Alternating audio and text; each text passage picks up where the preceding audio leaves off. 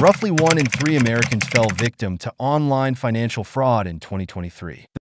The total cost of cybercrime globally reached $8 trillion in 2023 and is predicted to hit $10.5 trillion by 2025. The average amount of money lost by businesses as a result of cybercrime in 2023 was $1.3 million. The total estimated value of the cybersecurity market in 2024 is close to $200 billion, and this is forecasted to reach nearly $315 billion by 2029. What can you do to protect yourself?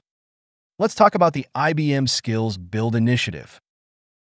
IBM SkillsBuild is a free online resource, open to all, that includes short courses for learners of all ages. These courses range in content from cybersecurity to artificial intelligence. Every course you complete comes with an internationally recognized badge. More badges equal a more enhanced skill set for those who complete the modules. Since October is Cybersecurity Awareness Month, we will complete the three-hour short course entitled Getting Started with Cybersecurity.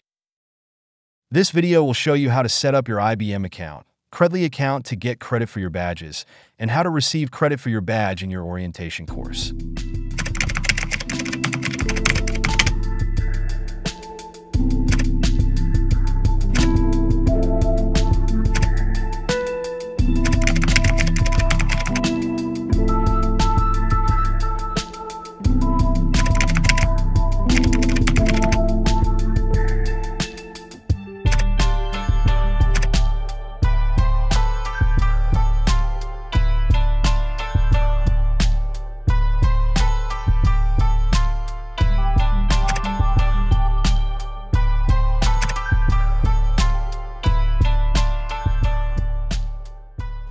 What's next?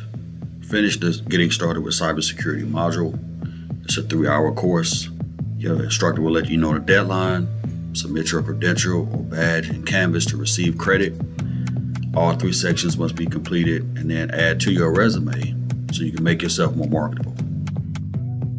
Complete all of the interactive exercises. Every module quiz has to be passed, and the final exam for the course needs to be passed with an 80 or higher copy the link that you get from Credly, as well as a PDF of your badge, and upload that to Canvas.